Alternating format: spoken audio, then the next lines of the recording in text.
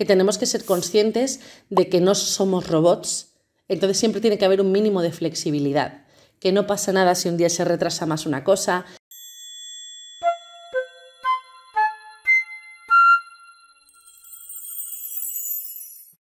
Eh, la clave para que una rutina sea más armoniosa eh, para mí radica en dos pilares. El primero de todos es que nos vean a nosotros también.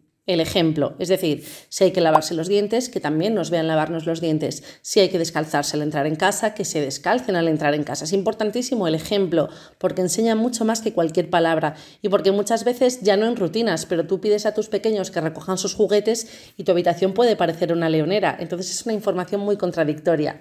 Y la segunda para las rutinas es que no tanto en duración, pero sí en organización, vayan siempre las mismas pautas una tras otra.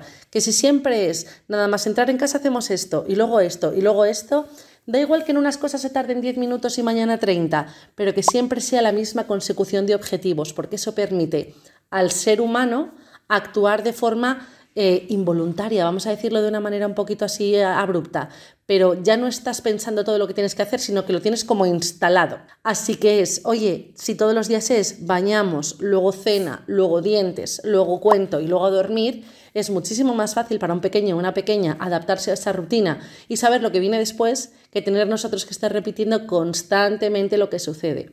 Y una cosa más que quiero añadir dentro de las rutinas es que tenemos que ser conscientes de que no somos robots, entonces siempre tiene que haber un mínimo de flexibilidad, que no pasa nada si un día se retrasa más una cosa, que no pasa nada si un día no hay baño porque se os ha pillado el toro y están agotados todos y no da tiempo a nada más y ya se quieren dormir. Tener un poquito de flexibilidad de forma puntual también nos ayuda a que las rutinas no se convierten en algo tedioso, sino en algo lógico.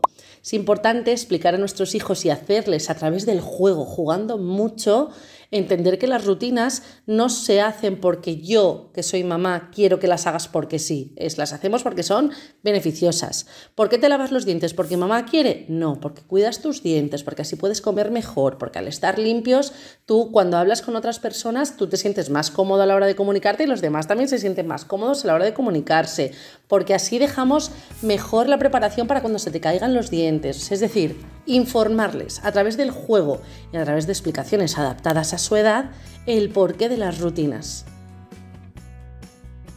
Ejemplos de juegos para establecer rutinas en casa.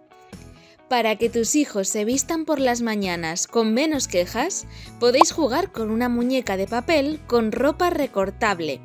La noche anterior, vestidla con ropa similar a la que tu hijo o hija se pondrá por la mañana los pequeños estarán más participativos si se visten juntos mientras se cuentan chistes los unos a los otros.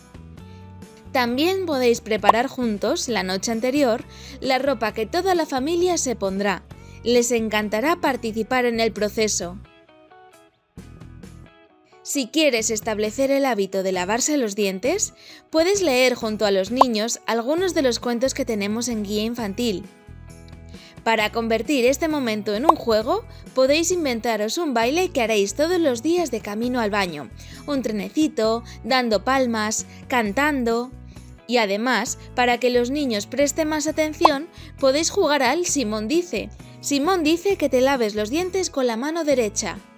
Simón dice que te cepilles las muelas de arriba.